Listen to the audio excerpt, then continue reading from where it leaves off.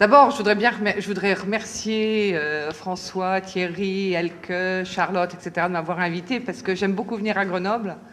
Et euh, je ne peux pas toujours venir à EPAL à cause des dates. Et là, c'est bien tombé parce que je suis arrivée mercredi et mardi, on devait rendre nos notes d'examen, etc. Donc, ah, c'était juste, euh, ça tombait vraiment très bien et les jurys d'examen n'auront lieu que dans une dizaine de jours. Donc, c'était juste le moment euh, parfait pour pouvoir venir, ce n'est pas toujours euh, le cas. Mais bon, c'était quand même un, défi parce que quand ils m'ont proposé de, faire ça, je dis ah bah oui, j'ai jamais fait, ça va être intéressant. Et puis après, je me suis dit oh là là, c'est en français. Mais d'un autre côté, comme tout était en français, c'est plus facile. J'ai un peu de mal quelquefois à parler de, recherche ou à écrire en français parce que ça fait 33 ans que je suis à Dublin et donc euh, toute ma, ma vie professionnelle et de chercheur se passe en anglais. Donc euh, passer de l'un à l'autre, c'est pas toujours très facile. Mais j'espère que vous allez m'aider si je bute sur certains mots ou expressions. Et puis après, je me suis rendu compte que, enfin, je travaille beaucoup je, suis très intéressée par l'apprentissage à travers des sites multiples, des espaces-temps multiples.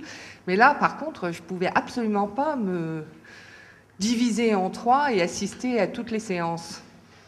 Donc c'était un véritable défi parce que la synthèse que je peux faire, c'est elle est un peu subjective. C'est basé sur ce que j'ai écouté, ce que j'ai entendu, mais aussi sur les conversations. Parce que très souvent, comme dans tout colloque, je pense qu'il se passe des choses extrêmement intéressantes dès qu'une présentation est terminée et qu'on se retrouve euh, dehors. Et ces conversations font un petit peu le lien entre ce qui s'est passé dans les différentes salles. Donc, euh, ce que je vais vous dire, c'est un petit peu basé sur, euh, sur toutes les interactions euh, qu'il y a eu et dans lequel j'ai participé pendant, pendant toute la conférence. Mais quand même, pour essayer de me, préparer, j'avais épluché tous les résumés de façon très manuelle et non pas comme Thierry nous l'avait présenté au début. Et au début, pour me préparer à faire cette synthèse avant même d'arriver, j'avais essayé d'avoir un petit peu une vue d'ensemble sur ce que ce colloque devait être. Et euh, l'appel à communication, l'introduction, nous disait qu'il y aurait trois axes, formation hybride, télécollaboration, réseaux sociaux, et donner quelques définitions euh, ou une vue d'ensemble de ces trois axes. Donc la formation hybride était en fait caractérisée par deux modalités, présentielle et distancielle. La télécollaboration, là on se essentiellement, on se focalise sur des échanges le plus souvent exolingues, pas toujours, mais assez souvent, euh, avec un scénario pédagogique commun, etc. Et les réseaux sociaux apportent une autre ouverture, euh, avec, basée aussi sur l'utilisation, l'exploitation des outils web, euh, le web social, web de haut, et avec cette fois-ci un contenu essentiellement créé par les utilisateurs.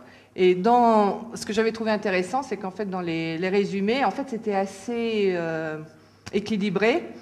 Mais j'ai quand même noté qu'il y avait un petit peu moins de, résumés, enfin de présentations de communication concernant les formations hybrides que la télécollaboration et les réseaux sociaux.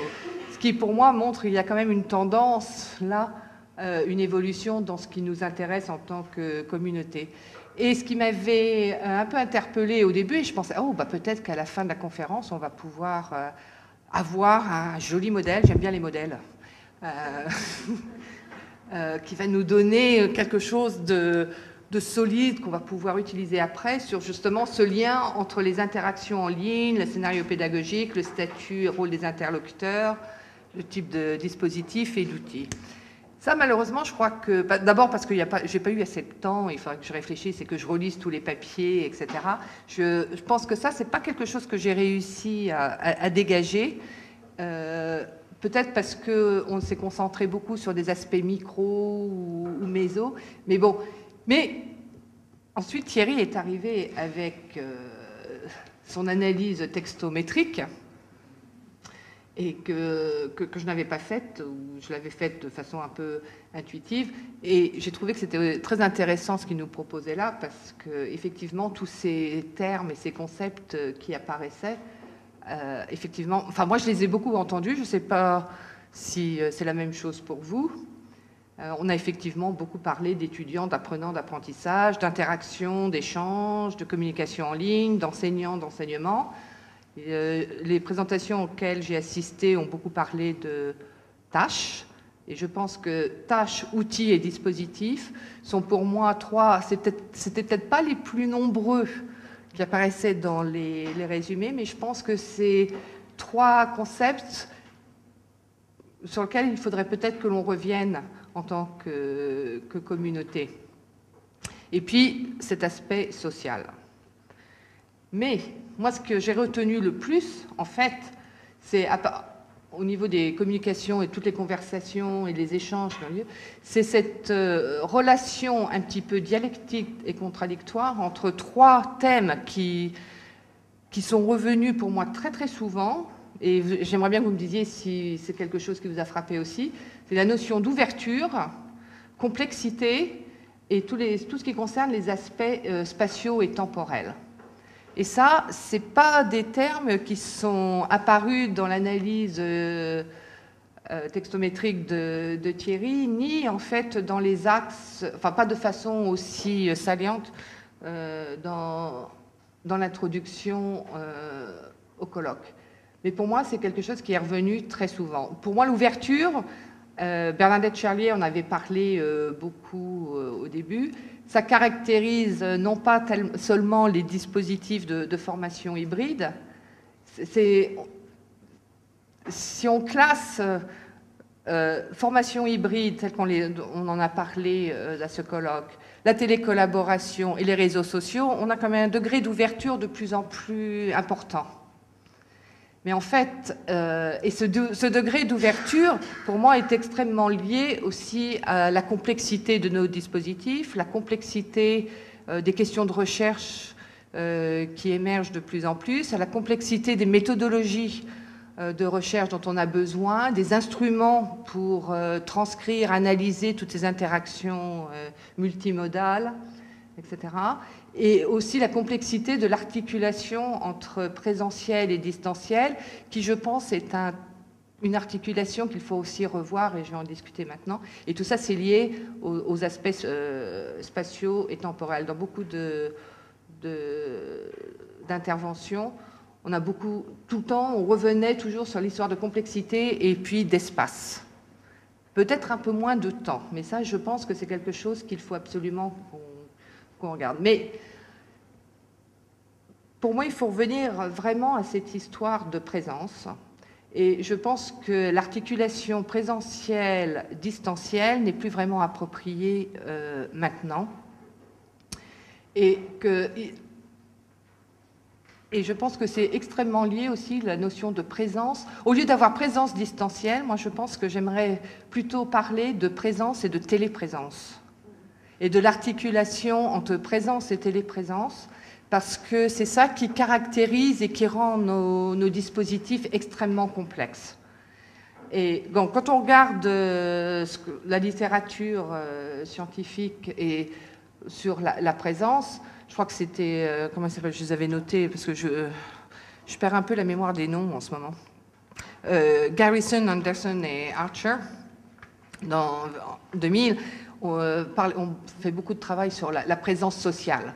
Et l'un des grands thèmes, c'est que la présence sociale euh, contribue euh, directement à une expérience d'apprentissage réussie. Ça, c'était un peu l'idée. Et, initialement, euh, je crois que toutes les, questions de, présence et de présence sociale, surtout avec les outils de communication, étaient très liées aux moyens de communication. et ça, ça remonte à loin. Hein. Comment il s'appelait? Short Short et ses, collègues, qui vraiment regardaient la présence comme caractéristique du moyen de communication. Et, là, bon, je pense que c'est encore vrai dans, certains sens. la, présence peut... la visioconférence va nous donner beaucoup plus de caractéristiques, euh, tout ce qui est gestuel, etc., regard, que le téléphone ou qu'un forum euh, écrit, etc mais c'est quand même très limité et très restrictif maintenant comme, euh, approche. Euh, et Garrison et Anderson et compagnie, euh, eux, ont, mis en, avant d'autres facteurs, et ces facteurs, je pense qu'on peut les, résumer comme le contexte, de l'apprentissage, le, dispositif.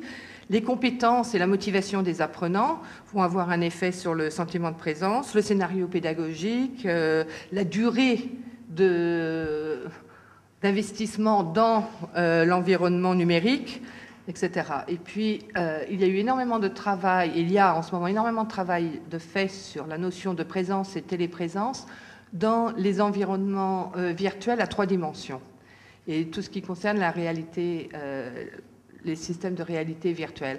Et je pense que ça, euh, bon, j'ai une petite équipe, on est une toute petite équipe de trois ou quatre chercheurs euh, à DCU à travailler euh, un peu dans ce domaine-là.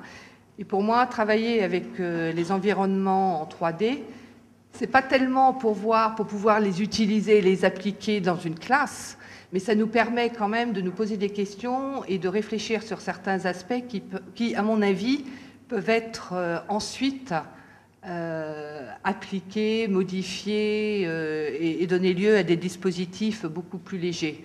Hein, pour moi, il n'est pas question pour l'instant de, dire à mon université ou à mes collègues, on va tous aller euh, faire des cours de français, d'espagnol, de chinois dans Second Life, par exemple. C'est quand même encore très dur. Mais de faire de la recherche dans ces environnements, je crois, nous permet de, découvrir beaucoup de choses. Et à ce moment-là, c'est lié aussi avec le sentiment d'immersion. Et le, ce, que, nous montrent ces environnements, ces nouveaux environnements, et surtout avec les jeux, hein, les, c'est que ce sentiment d'immersion, c'est aussi le sentiment d'être, euh, de pouvoir agir directement sur euh, l'environnement. Et la téléprésence, dans ce cas-là, c'est vraiment l'expérience subjective, en fait, d'être à un endroit ou dans un environnement alors qu'on est physiquement situé dans un autre.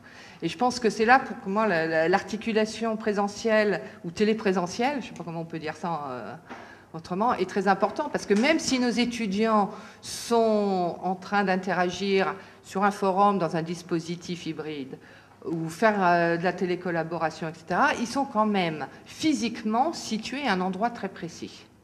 Et ça, c'est très, visible quand on travaille dans des environnements en trois dimensions. Euh, je parlais un peu du travail que fait une de mes étudiantes, Susanna Nocci, à Dublin, avec l'italien, quand elle, fait des cours dans Second Life, mais ses étudiants et elle-même sont situés physiquement en général dans leur chambre, parce que ça se passe souvent le soir, parce que les institutions en Irlande, c'est très difficile, et il n'y a pas qu'en Irlande d'ailleurs, de, pouvoir euh, faire du travail dans ces environnements-là sur place. Euh, on sait que les étudiants sont, en, sont, très souvent sur leur lit, avec leur laptop, euh, etc. Le prof peut-être. Donc, il y a une double. Ce que je ne pouvais pas faire ici, euh, ils sont physiquement situés quelque part, mais en même temps euh, dans un autre espace virtuel qui vont en fait construire petit à petit. Et ça, je pense que ce, sentiment de cette articulation présence-téléprésence, c'est vraiment quelque chose qu'on devrait peut-être creuser beaucoup plus dans les autres euh, environnements. Et il y a d'autres auteurs comme Riva, je crois que les Italiens font énormément de travail de, dans, ce domaine. Euh, la présence euh, est peut-être définie aussi comme la. Il faut que je regarde mes notes parce que je passe du français à l'anglais et encore au français. Euh, c'est la perception intuitive de la transformation réussie d'intention en action. Donc on se sent présent quand on peut transformer ses intentions en action, surtout dans ces environnements virtuels. Et pour moi et pour ces, ces auteurs-là, le sentiment de présence est lié à la notion d'affordance. Et je sais qu'on a un petit peu parlé euh, d'affordance. Le mot affordance est revenu assez souvent euh, dans les, dans les présentations. Mais je pense que. Je n'ai pas assisté à toutes les présentations qui parlaient d'affordance. Mais quand on lit des articles dans le domaine, quand on entend des gens parler d'affordance, je pense que le concept est en général euh, mal défini euh, mal compris, et c'est vraiment un concept qui vient de Human-Computer Interaction. Et on oublie un petit peu les, apports euh, de ce domaine-là. Et le concept d'affordance, ça vient vraiment de la psychologie écologique de Gibson. Et ça a été travaillé de plus en plus. Il y a d'énormes débats dans la communauté. comment on dit en français, HCI Interaction homme-machine, voilà. Interaction homme-machine, so, c'est IHM. IHM. donc il y a, il y a de, vraiment de grands débats depuis une dizaine d'années, même plus, sur ce que sont les affordances dans cette communauté-là. Et euh, donc si ça vous ennuie pas, moi je vais vous dire comment moi je comprends le, mot affordance? Pour moi, affordance, ce n'est pas les caractéristiques objectives d'un environnement. Ce ne, sont, pas les fonctionnalités. Et très souvent, dans les articles, surtout dans les articles concernant l'apprentissage des langues, c'est comme ça que c'est traité. Euh, on confond très souvent fonctionnalité d'un dispositif et la notion d'affordance. mais une affordance, en fait, euh, d'abord, elle peut être positive ou négative. Euh, des exemples cités très souvent, c'est l'exemple d'un couteau. Hein. L'affordance, c'est une possibilité d'action. Un couteau donne la possibilité de couper son saucisson, mais aussi de se couper le doigt. D'accord? Donc, euh, ça peut être positif euh, ou, négatif. Et euh, surtout, moi, ce qui me paraît extrêmement important au niveau de l'apprentissage, c'est qu'en fait, elles ne peuvent se réaliser que dans les interactions entre les organismes actifs et les objets de l'environnement. Et c'est donc une propriété émergente des, environnements physiques et virtuels dans lesquels que, nous habitons. Et c'est aussi lié, la notion d'affordance est aussi liée à la perception. Et pour qu'une affordance soit, pour qu'une caractéristique objective d'un dispositif, d'un environnement soit une affordance, il faut qu'elle réponde à un besoin. Et c'est aussi lié aux propriétés, euh, capacités de cet organisme actif. Euh, la chaise sur laquelle je suis assise, me... le verbe afforder, ça n'existe pas en français. Euh... Oui. M'afforde la possibilité de m'asseoir, mais elle ne permet. Si j'étais un bébé de six mois, euh, ça ne marcherait pas du tout. Donc c'est vraiment lié quand même aux capacités mentales, physiques de l'utilisateur. Pareil, une échelle euh, va afforder la possibilité de grimper à un, être humain, mais à un chien, par contre, euh, non. Moi, je sais pas. Euh, il y a peut-être des chiens cirque qui arrivent à monter les barreaux d'une échelle. Donc, c'est vraiment lié. C'est une propriété qui est quand même vraiment très liée à l'environnement, à l'objet, mais aussi à l'acteur. On ne peut pas les dissocier, en fait. Mais donc, et d'autre part, un autre point qui me paraît très important au niveau de l'apprentissage et des affordances, c'est que les caractéristiques d'un environnement deviennent affordances si elles peuvent être associées à l'activité de, l'acteur, de l'utilisateur. Mais très souvent aussi, je pense que l'un des gros problèmes euh, quand on parle d'affordance, c'est qu'on se concentre sur les affordances technologiques. Euh, mais il y a quand même beaucoup d'auteurs qui ont parlé euh, des affordances éducatives et des affordances sociales. Et, ça, c'est vraiment quelque chose, et ça j'en parlais un tout petit peu plus, mais les affordances éducatives, euh, sont souvent définies comme les relations entre, euh, entre les propriétés d'une intervention euh, pédagogique et puis les caractéristiques de l'apprenant. Et c'est cette relation qui permet à certaines interventions pédagogiques d'être réussies. Donc, et la dimension sociale, on la retrouve beaucoup dans tous les travaux de perspective actionnelle et écologique.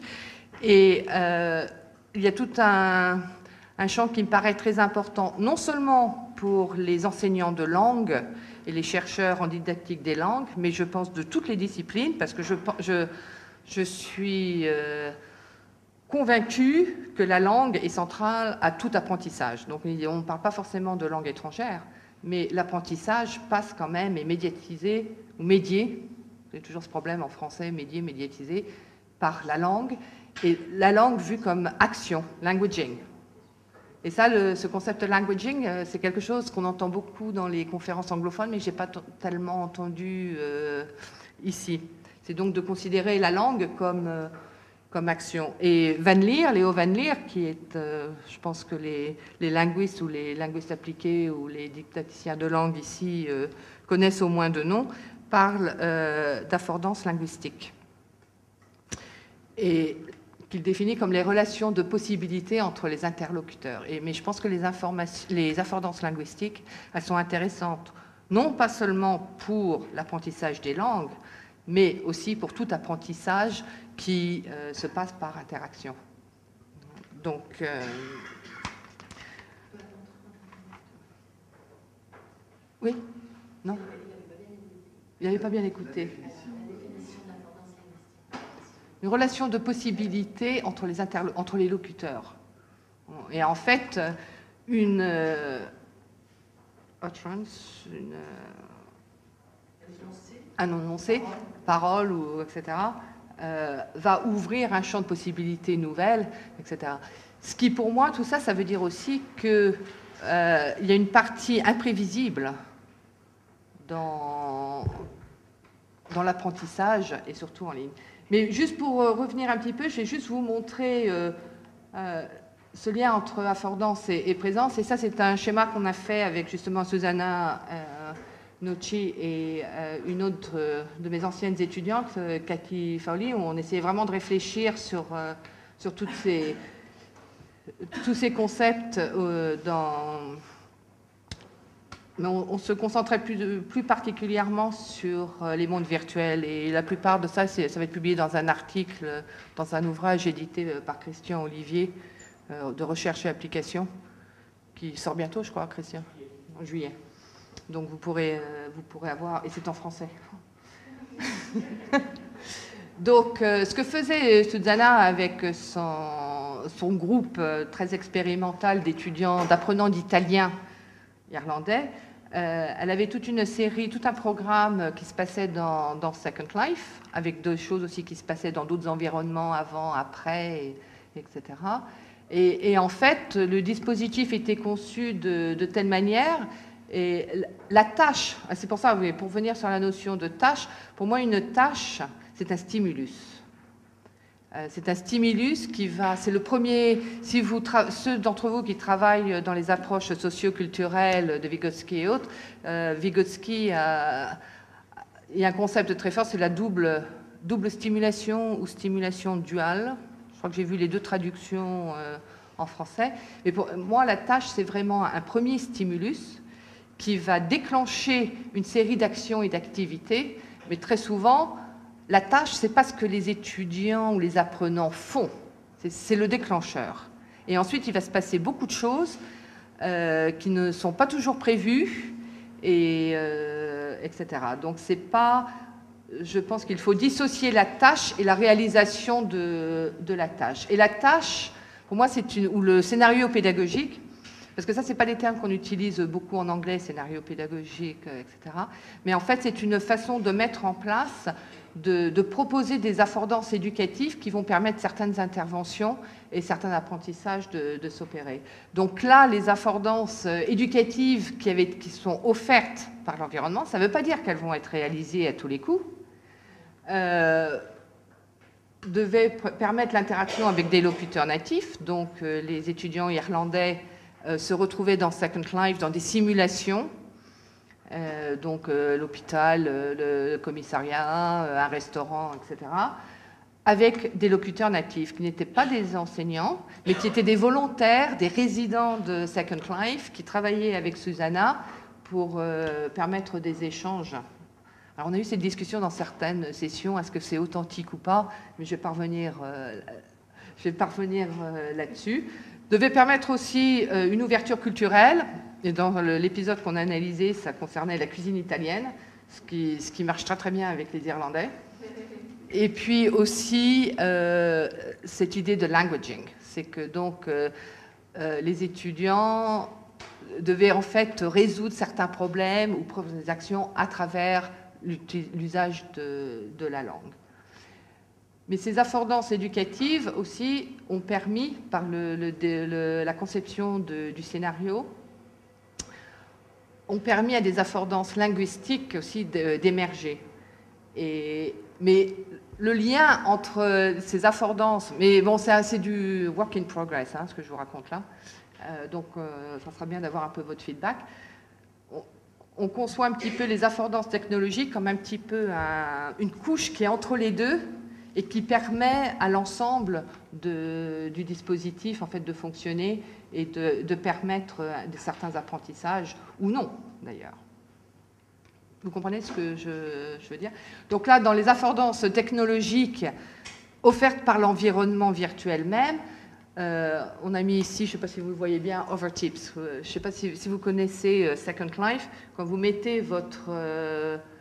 sur certains objets scriptés, vous passez votre souris et vous avez une action qui se passe. Donc là, il y avait l'environnement avait été créé de façon à, fournir aux étudiants ce que Van appelle un budget sémiotique riche.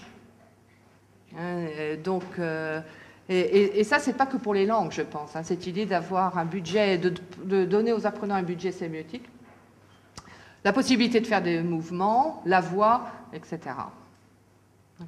Et donc, euh, donc ça, c'était une, chose. Euh, donc, affordance et présence, je pense que dans nos dispositifs, qu'ils soient des dispositifs hybrides fermés, comme euh, on utilise Moodle et on fait des cours en classe, en labo ou autre, que ce soit dans des projets de télécollaboration ou même des réseaux sociaux, je pense que c'est quelque chose qui est, important à étudier un peu plus pour bien, mieux comprendre ces interactions et l'articulation entre les différents. Mais, euh, et ça nous permet aussi de regarder plutôt, le, alors, le, point suivant, c'est ce qu'on a appelé les chronotopes d'apprentissage. Et ça, c'est l'articulation entre les différents espaces, euh, euh, espaces spatiaux, ça va pas très bien ça, ou les aspects spatio-temporels de, de l'apprentissage. Et, là, c'est une autre de mes étudiantes, Cathy, qui a vraiment travaillé un, peu là-dessus.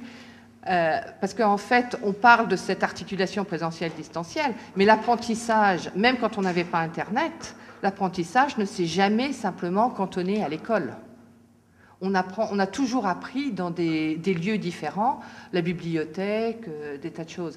Et la complexité de nos dispositifs, maintenant, je pense que l'une de ces complexités, c'est qu'on passe d'un espace, d'un lieu à un autre, et même à l'intérieur d'un environnement numérique, on va passer, il y a plusieurs lieux. Et ça, c'est très manifeste dans, des simulations ou dans des mondes virtuels. C'est quelquefois, on le voit moins, je pense, dans quelque chose comme Moodle, ou, ou, dans un forum ou autre, mais là, je pense qu'il y a aussi différents espaces. Et en fait, ce qui nous a intéressé, c'est de voir de, considérer l'espace lieu et temps comme un espace unique. Et ça, ça vient des travaux de Bakhtin, qui était, donc c'était le chronotope, c'est l'unité espace ou lieu-temps hein, qui définit, et c'était un concept. Alors moi, je suis pas du tout littéraire, mais ça, par contre, ça m'intéresse. Euh, où le, ce que je comprends du, du chronotope bakhtinien, c'est je crois qu'il a fait ça, il en a parlé surtout avec les romans euh, antiques, Rome, etc., où il y a des, un couple de jeunes romains ou grecs, je ne sais plus, enfin, qui, qui passent du temps de l'aventure, on change de lieu, etc. Et ce, qui nous a intéressé dans les trajectoires des étudiants dans ces espaces, euh, ce qui nous intéresse en tout cas dans ces espaces virtuels, c'est qu'il y a souvent des interruptions ou des euh, disruption, disrupt, non, des disruption, des, des perturbations, des, des ruptures, voilà, euh, des ruptures qui font que même si on est physiquement ou virtuellement dans un lieu, on va changer d'espace et, et, même quelquefois changer de rôle. Et ça, un concept qui est intéressant ici, je trouve, c'est l'idée de cadavérisation euh, virtuelle, virtual corpsing. C'est un terme théâtral, je crois, où l'acteur, le, rôle, tout d'un coup, euh, euh, revient à la vie réelle et dans des, environnements numériques un peu lourds, c'est très visible. Et par exemple, ce qui s'est passé dans, l'épisode qu'on a étudié pour cet article, euh, il y a eu un problème technique. Certains étudiants n'arrivaient pas à zoomer, n'avaient pas mis en, n'avaient pas paramétré leur système correctement. Donc, les affordances n'existaient plus pour eux. Il y avait toute une possibilité d'action qui n'existait pas, puisqu'il y a eu une rupture là. Donc, physiquement, ils étaient toujours euh, couchés sur leur lit ou assis sur leur lit ou sur leur bureau. Virtuellement, Leurs avatars étaient toujours dans le lieu de la simulation, qui était une pizzeria, hein, une simulation d'une pizzeria. Mais en fait, les étudiants, les apprenants et leurs euh, leur enseignantes étaient dans une zone qui n'était ni virtuelle, ni dans une zone grise, où en fait ils réglaient un autre problème, où ils s'occupaient des problèmes de, de logiciels, de problèmes de hardware, de micro, de, souris, etc. Et, quand on regarde ce qui s'est passé, toute la trajectoire euh, de cet épisode qui a duré en fait, euh, je ne sais pas, 5 hein, minutes ou 10 minutes en tout, un peu plus hein, ici. Là, vous avez par exemple une Ils ont commencé des pré-activités sur un wiki. Donc d'abord, euh, c'était individuel, mais collectif en même temps. Ils interagissaient entre eux de façon asynchrone sur un wiki avec des pré-tâches pour acquérir du vocabulaire, réfléchir, parler de la cuisine euh, avec des instructions, etc. Ensuite, ils se sont retrouvés dans un lieu dans Second Life, avec certaines actions qui ont pris place. Ensuite, ils sont rentrés dans la pizzeria. Ensuite, il y a eu un problème. Et bien qu'ils étaient tous, les avatars étaient dans la pizzeria, en fait, les étudiants étaient en train de reparamétrer leur logiciel. Donc, c'est là où il y a eu, c'est comme un autre chronotope, ils ont interrompu le flot de la simulation pour régler quelque chose et ils sont revenus ensuite dans la pizzeria. Et ça, ça a duré, euh, oui, je pense que c'est même pas cinq minutes, c'est très court. Mais à chaque fois, ça a créé des assordances linguistiques qui n'avaient pas du tout été prévues, complètement imprévisibles, de nouvelles affordances euh, éducatives, etc. Et, c'est donc le lien, le chronotope, je pense que c'est quelque chose que l'on pourrait euh, étudier beaucoup plus en fonction des... Bon, je ne vais pas trop parler de ça trop longtemps, mais tout ça, ça m'amène... Euh, après, je me disais, bon, mais échanger pour apprendre, mais apprendre quoi? Je ne sais pas si en France, on parle beaucoup de l'apprenant du 21e siècle et des compétences pour le 21e siècle. Dans le monde anglo-saxon, on ne parle que de ça. Et il y a une, je, suis très euh, fanatique des travaux d'Angenström et d'Annalisa Sanino. Et euh, en 2010, dans un article sur euh, l'apprentissage expansif. Et je vais tout de suite répondre à une question que Nicolas va sans doute me poser. Oui, c'est comme ça qu'on traduit en français expansive learning. C'est comme ça que c'est, la traduction que les Canadiens ont adoptée. Euh, j'ai trouvé ça récemment dans un article. Et je pense qu'il nous pose euh, des questions qui sont. Alors, je ne les ai pas traduites parce que je ne suis pas très bonne en traduction. Et euh, donc, je vais essayer de le faire. La poule ou l'œuf? Oui. Est-ce que, donc, est-ce que l'apprentissage est principalement un processus de transmission et de préservation euh, des cultures ou un processus qui transforme et qui crée des cultures? Et pour moi, c'est quelque chose qui est intéressant au niveau, quand on parle de télécollaboration, euh, en fait, est-ce que quel est le but Quel est l'objet Qu'est-ce qui se passe dans cette euh, Qu'est-ce que les interactions entre euh, entre les apprenants nous montrent Est-ce que et, tous ceux qui travaillent dans, en activity theory, etc., parlent de la création d'un troisième espace, de third space.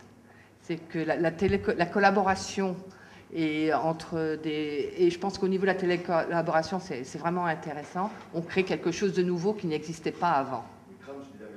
Oui. Oui, oui, tout ça, c'est dans la même mouvance. Voilà. Euh, est-ce que l'apprentissage est euh, principalement un processus euh, d'amélioration verticale? C'est-à-dire qu'on on sait où on va, on a, une, on a des échelles de compétences et autres, ou est-ce que c'est quelque chose qui se passe horizontalement? Et ça, je pense que c'est une question importante au XXIe siècle surtout quand on pense à tout cet apprentissage informel, à l'utilisation de, réseaux sociaux, et même quand on parlait des MOOC euh, hier, euh, où l'apprentissage, c'est pas seulement fait avec, parce que, enfin, dans un MOOC euh, qui serait plutôt connectiviste, mais c'est en fait ce qui se passe entre les pairs et qui crée quelque chose de, nouveau. Et est-ce que c'est un, processus d'acquisition et de création de, connaissances empiriques. Je ne sais pas si ça marche vraiment en français, mes traductions. C'est pour ça que je n'ai pas osé traduire et de concepts, ou alors est-ce que l'apprentissage conduit à la formation de, nouveaux, de nouvelles connaissances euh, théoriques et conceptuelles? Je pense, mais bon, il faut aussi bien se mettre dans la tête que Angstrom et Sanino, ils ne parlent pas forcément de l'apprentissage scolaire universitaire, mais de l'apprentissage en général et aussi dans des organisations. Et je pense que ce que les réseaux sociaux, la télécollaboration, etc. nous font, c'est que les frontières entre l'apprentissage institutionnel, professionnel et social deviennent de plus en plus floues. Et je pense que c'est ça qu'il faut que l'on regarde. Alors, il y a plusieurs, il y a trois métaphores qui viennent un petit peu de cette. Euh, enfin, Pavola et Akarinen. Vous avez entendu parler de ces. Ce sont des, des, Finlandais, et je trouve que leur travail est, vraiment très intéressant. Euh, et ils ont parlé de trois. Ils parlent des trois métaphores de l'apprentissage. Alors, la métaphore de l'acquisition, qu'ils voient comme monologique, et ça, vraiment, je pense que si on regarde ce que l'on faisait avec nos espaces numériques, oui, je pensais que j'en avais. Euh, c'est vraiment tout se passe dans euh, la tête de, l'apprenant. Ensuite, on est passé à la participation métaphore dialogique. Et ça, je pense que quand on parle, ce que j'ai entendu ici sur les, euh, les formations hybrides, je pense qu'elles font encore partie de cette métaphore de participation. Et c'est presque quelquefois plus Web 1 que, Web 0, mais maintenant, en fait, tout ça euh, est combiné et avec une troisième métaphore qui est de knowledge creation métaphore, qui est euh, trialogique. Et là où c'est vraiment euh, developing collaborative shared objects and artifacts. Et ça, je pense que c'est une piste sans doute à suivre et qui remet aussi l'interaction avec le numérique que quelquefois, quand on parle des interactions, on parle des interactions euh, médiatisées par le, mais pas forcément la création d'objets.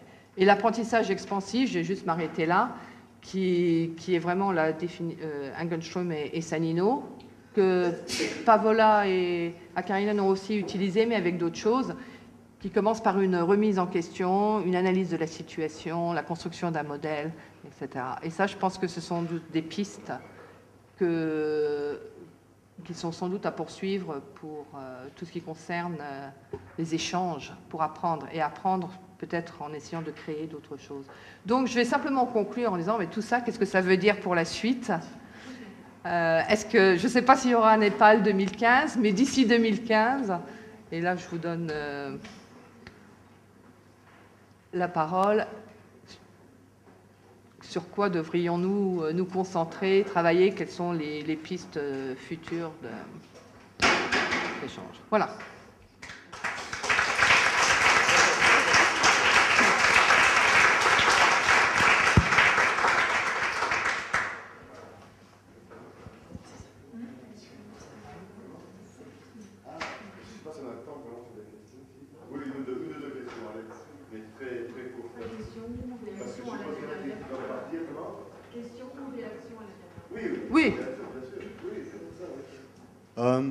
Merci beaucoup. Euh, ce qui m'a frappé, c'est l'aspect affordance. Et je trouve, euh, j'ai beaucoup de mal à utiliser ce mot sans le mot perception. Donc, la perception des affordances, pour moi, on ne peut pas séparer affordance de, de perception. Ça, c'est une première chose. Deuxième chose, le mot ouverture, pour moi, c'est très lié à cette histoire de affordance. Et affordance, pour moi, c'est un potentiel. Oui, Donc, si, si, moi je me situe euh, dans les bronzés, on peut voir des ouvertures partout, mais ce n'est pas pour autant qu'on conclut. Et je crois que pour les tâches, c'est un peu le même problème. C'est-à-dire qu'on peut voir des potentiels pour euh, des tâches à effectuer, mais ce n'est pas pour autant que l'individu va conclure.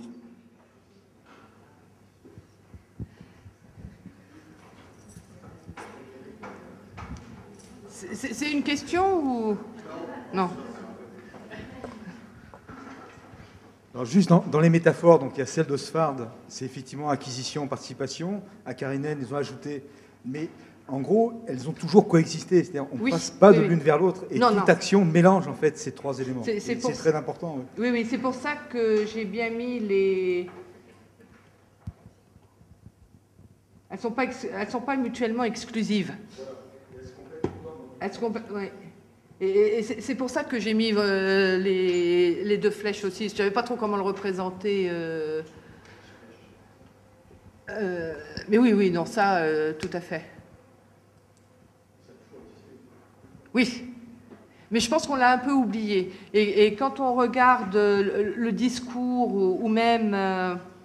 bon, je ne peux pas parler vraiment de la formation des enseignants en France parce que je ne connais pas assez, mais, même chez nous, dans notre université, euh, tout est basé sur euh, participation font, quand il y a de la formation au, TIS pour l'enseignement, tout est basé en ce moment sur, euh, sur participation métaphore. En mettant un petit peu d'acquisition, parce que ça, mais en gros, ça, le, le, modèle transmissif est tellement ancré que toutes les formations de développement professionnel se concentre un petit peu là-dessus.